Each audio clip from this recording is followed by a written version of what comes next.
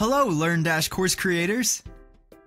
As you know, tracking user activities within LearnDash is very important for a course administrator, because then you will know which course is liked most, or which course is not so popular, or which user is progressing fast, and who is a laggard.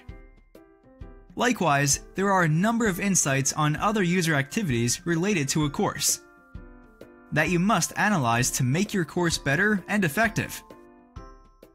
We have just solved your reporting problem. Introducing LearnDash Analytics plugin.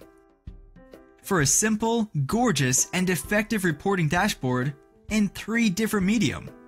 WordPress site, Google Sheets, and mobile apps. How does this LearnDash Analytics work?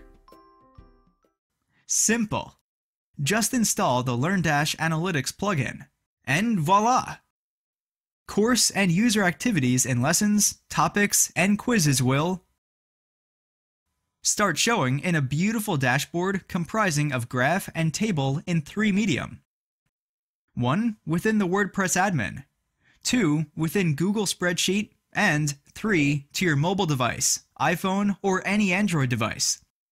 So, as a course admin, you don't need to even log into your site. Just log in to your Google Drive, open the Google Analytics spreadsheet add-on,